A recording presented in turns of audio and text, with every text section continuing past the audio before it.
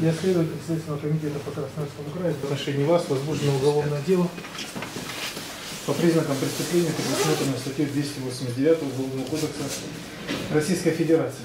Ознакомьтесь, пожалуйста. Постановлением ознакомлен.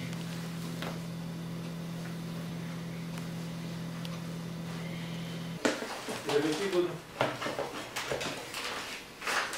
14